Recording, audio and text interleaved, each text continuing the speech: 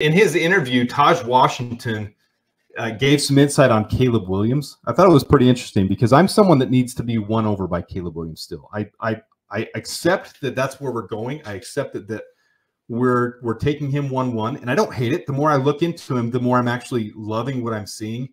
Um, the fact that on third and fourth down, the entire time he's been at USC, he never threw a single interception, and that's clutch. That's something that Matt Eberflus talked about. We need in a quarterback. So I'm seeing more and more that I like. But Tahj Washington said, and I don't have it quoted here. I, this is just because you brought him up that I'm I'm thinking of this. Um, he said Caleb is that bubbly. He's social media. He's funny.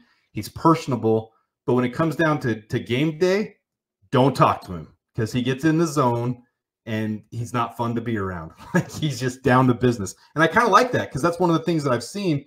He's on social media. He's on Twitter. He's he's interacting, and I was like, okay, uh oh, here's someone that's too involved. He's too Hollywood. But if that's the way he is, that's kind of how I was. I, I wrestled and I played multiple sports. I wrestled, I played football. And when I wrestled, that's how it was. I was kind of a fun guy. I was, you know, just had a good time. But then when it came time to game day, like I was irritable. Like people wouldn't want to talk to me because I, I had to get myself in the zone. And I like competitors like that. I like guys that really can can focus in and and make it all about that, that it's all about the game. What are some of your thoughts on Caleb Williams? I haven't talked to you about Caleb Williams. We've just kind of gone over the fact that we've accepted that he's going to be QB one. It's what's happening. 99%. Even if even if the commanders offered a Herschel Walker type trade at this point, I don't think we would take it because Ryan Poles has locked in and said, This is our quarterback. This is who we're going with. What are your thoughts on Caleb Williams? I don't know if uh Evie Bear Down Davis is still in the chat or not, but um man, she knows me and her went back and forth on Facebook quite a bit. Um, and uh, you know, I've I came to that realization fairly early on. It's just it's just the situation at hand. You know, when you look at him as a prospect, he's a extremely good prospect. Um, I know there were a lot of narratives out there about him, whether it's you know him being involved on social media or what that. Part of that is this um this youth generation too that's coming up. They're all involved. They're all on social media. Yeah. and as far as you know i know some things were said about his father his family life this and that they're all very involved too. That's why you hear a lot of things about like um you know he puts more pressure on himself than anything else because even outside of the games his family kind of puts pressure on him to be a good good quarterback and and they're very involved with him too. And when when you look at the tape um not only is there a lot of quantity of it, he played for, you know, three, four years. And um, I know for two different teams, but uh, a lot of it is very impressive. He's going through, you know, what when I look at college tape specifically, and and I try and look at quarterbacks, I try and just look at things that I think will translate to the NFL, and that's really my main concern. I know there's a lot of narratives. Oh, oh well, his team wasn't that good. They didn't beat this. They didn't beat that. I don't really follow any of that. None of that matters to me. At the end of the day, it is a team sport, right? So when I look at just the quarterback and the quarterback alone, um, his footwork's really nice. He's going through his read. Some there's plenty of times where he's gone through his first read during his drop back. Um, he's in control on the field a lot. Like you mentioned, not throwing interceptions. Uh, there's a lot of stuff where you know where when he's rolling out, it's not this um run around without a game plan type of situation. No, he's running out. He's running out of the pocket with a purpose. He knows exactly what he's going to do. He knows exactly where he's going to throw that ball, and it's it's like clockwork. And it's very impressive to see. Um, his release time is very quick. I mean, he gets rid of the ball like that, and that's what you like to see. There's plenty of plays where he's even rolling out to the sideline, and you think he's going up, and just out of nowhere, the ball's just gone. And that translates to the NFL a lot. And so I think he checks a ton of boxes. I think that's why you initially heard that narrative too, that like, hey, he is the best prospect since Andrew Luck. Yeah, there's there's not very many flaws in his game. Um, you can talk about how he passes up some early reads, but usually that winds up with a big play, and he passes that read up because he's he knows he's got the bigger play. So, like I said, it's very hard to sit there and pick him apart. And you know, at the end of the day, the, you know, moving on from Justin Fields, it's like the second we had pick one, I was just kind of like, uh oh, like that, that's it. You're not going to sit here and outweigh potential in the NFL. I mean, at the end of the day, you look at, you know, we talked about draft value and things like that. What would a team give up for to trade up for pick one versus what Fields got traded for? right? So that lets you know exactly where the NFL stands for value wise on, on what Fields has done versus what the potential of Caleb Williams is. And so, yeah, it became very clear to me that that's going to be probably, you know, the, the way that you're, you're going to move forward. And, um, luckily for us, he is such a good prospect because, you know, there's been guys before that you, you hear, you know, are going to go 1 1. I mean, even Trevor Lawrence last year, or not last year, even Trevor Lawrence in the Justin Fields draft. He's the only one left out of those quarterbacks that that's starting on the team he's at. So, you know, um, it's a tough position to get right. It is, but you, but one thing's for sure is you have to get it right. And, you know, with the situation we're in, the way we acquired our pick, it's not even our pick. It's it's house money. We've already won that trade. If you could top it off with Caleb Williams, that might be the cherry on top of the sundae, and it might just put everything together. That position's so impactful.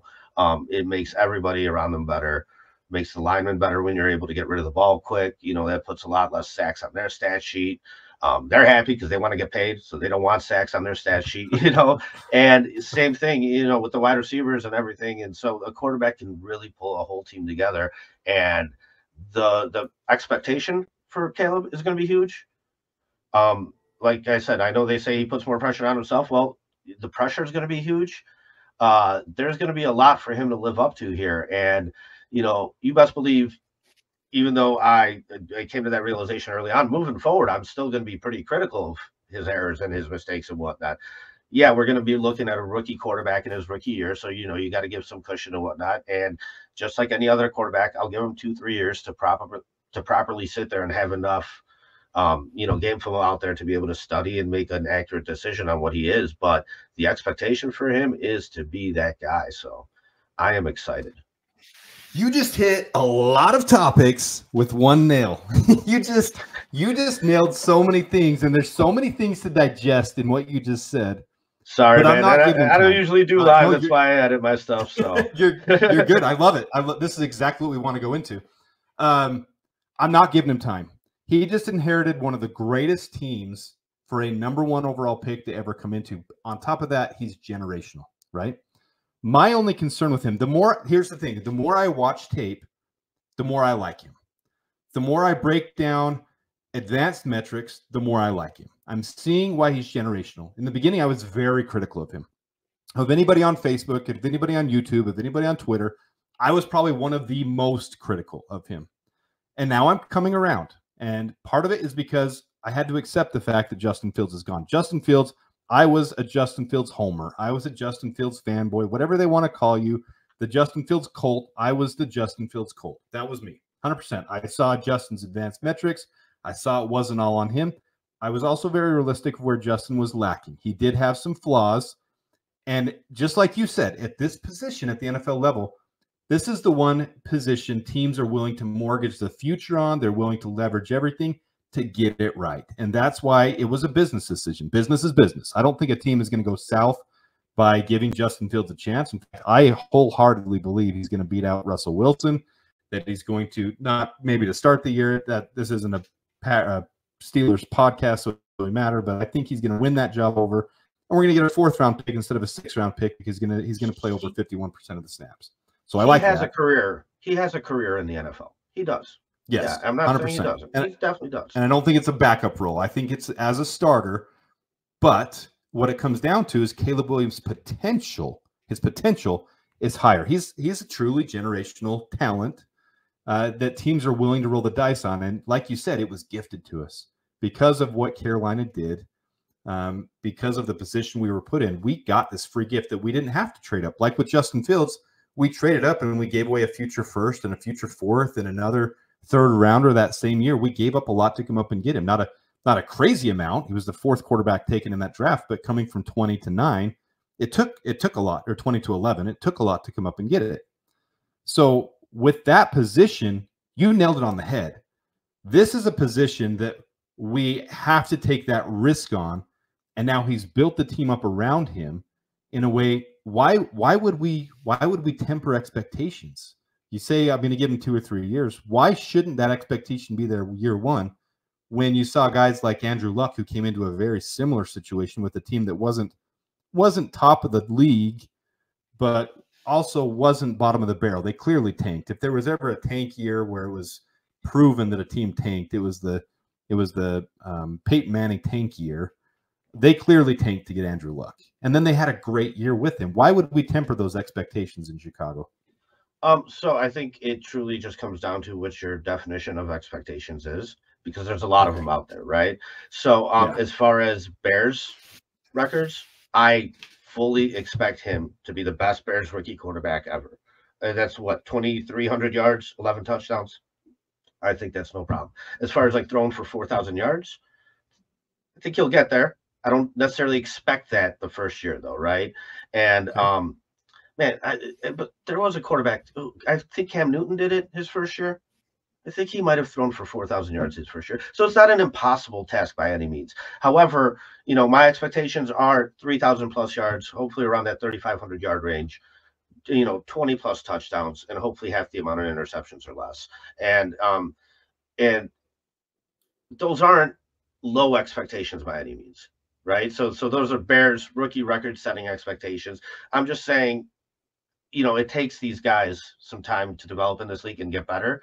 So I think he will be a great passer in this league, but I think his first year, he's he's going to wow us just based off our history and what we know. But as far as like from an NFL point of view, I don't think he's going to go out there and necessarily, you know, throw for four thousand plus yards and, and do all these incredible things. Um, it that's a high high bar to set. Um, is it possible? Sure, he does have that type of pedigree. Like you said, the talent is there on this team. However, as we discussed, you know, throughout the last 40 minutes of the show, the talent is there up front.